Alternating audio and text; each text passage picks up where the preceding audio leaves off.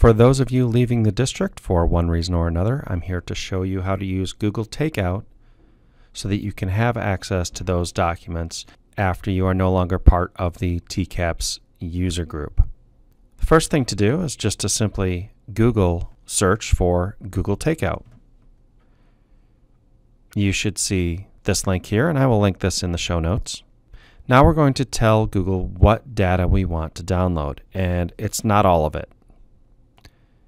As you scroll down, you'll see Select Data to Include. Click the button that says Deselect All. Then go only to those tools and categories that you really need, like My Drive. If you have any websites that you built that you wanted to include, you can check that box and then click on All Sites Included. You can deselect all and then only pick the ones that you think you really need uh, after you leave the district. Click OK. Now I have one site selected. You'll probably want to hold on to the website that you created for your student-led conference. Click on Drive, and again, you can choose which folders you want to select. Um, to do that, deselect all, and then only select the ones that you really want to hang on to. Maybe there's a folder that was for a particular class that you think you might need later. When you're done, click OK. The rest of these categories are a lot of tools that we don't use anyway.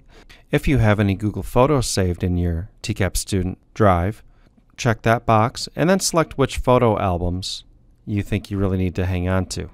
Click OK. We recommend that you do not select your mail account. When you've selected all your data, select Next Step, and now we'll tell Google how we want that information delivered. We are going to send a link via email and it'll be a one-time archive. It'll be a zip file type, and we'll keep the archive size at 2 gigabytes, and anything larger than 2 gigabytes will be split into multiple files, and that will make for easier handling of the data. We will create an archive, and then we receive this message, Archive Progress. An archive of three products is currently being prepared. Please note that archives may take a long time, hours or possibly days to create you will receive an email when your archive is complete. So we know to keep an eye on our email so that when we receive that message, we know that our archive is ready. Here's the confirmation email that shows that I have requested an archive. I can check activity by clicking this box.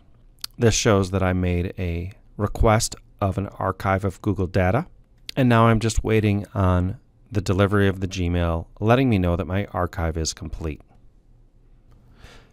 When your data archive is ready, you'll receive this email, and then it's just a matter of downloading the archive, extracting it, and then uploading to your other account. So I'm going to save this takeout zip archive to my desktop. When that download is complete, I'll open that folder. There's my takeout zip file. I'll select the takeout file and click extract. It'll ask me where I want to save it that location is fine, but I could use this menu to select my location. When you're ready to upload those files to their new location, click New, File Upload or Folder Upload, and you can save those documents into your new Google Drive account.